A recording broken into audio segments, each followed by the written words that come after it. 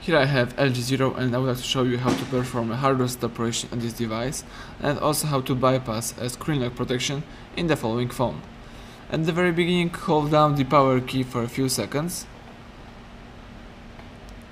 When the following menu appears on the screen choose power off and confirm OK.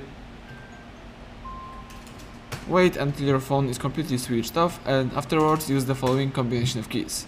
Volume down button and power key. Hold down together these two keys for a few seconds.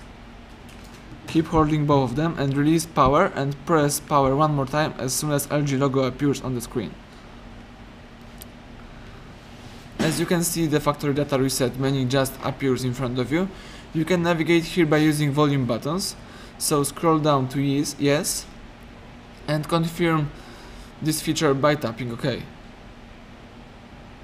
So by pressing the power button.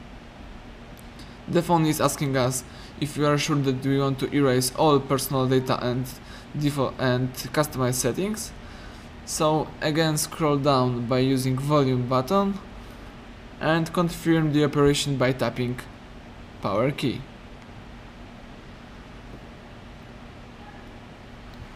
The phone is erasing all personal data and customized settings. Now the device is restarting Android is starting. Excellent, as you can see the LG welcome panel just appears in front of you and as you can see there is no screen lock protection so you can easily start and activate your phone. Thank you for watching, please subscribe our channel and leave thumb up under this video.